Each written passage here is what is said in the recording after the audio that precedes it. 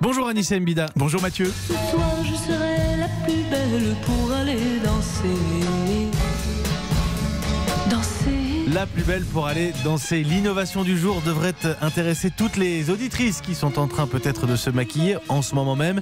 Vous avez trouvé un rouge à lèvres qui peut reproduire n'importe quelle teinte. Oui, et bah comme ça, plus besoin de s'encombrer avec des dizaines de tubes pour avoir le nuancier parfait et trouver la teinte qui irait le mieux avec sa tenue. Alors comment ça marche? Euh, Ça passe euh, par le téléphone portable. On commence par choisir une photo avec la couleur euh, qu'on veut obtenir.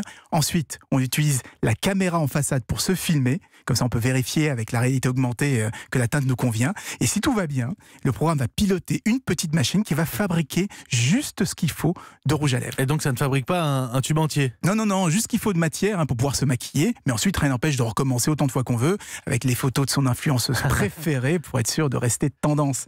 C'est le, le géant L'Oréal et la start-up L'Atelier Eclipse qui travaillent dessus. Alors pour le moment, c'est encore des prototypes, mais ils espèrent une commercialisation début 2021. Alors est-ce que ça pourrait marcher pour euh, autre chose que du rouge à lèvres, euh, le fard à paupières, le fond de teint, les, les vernis peut-être? Alors peut-être pas pour tout ce qui est poudre, hein, c'est compliqué à fabriquer et à colorer à la demande, mais pour qui, si c'est de la crème, bah, pourquoi pas hein. Donc, euh, je sais pas, on pourrait imaginer des soins du visage totalement personnalisés en fonction de l'humidité ou son état de fatigue, par exemple. En, en fait, euh, vous savez qu'aujourd'hui, avec le téléphone, on est entré dans l'ère de la consommation à la demande. On peut quasiment tout avoir en un clic, donc il n'y a pas de raison que demain ce soit pas la même chose pour les cosmétiques.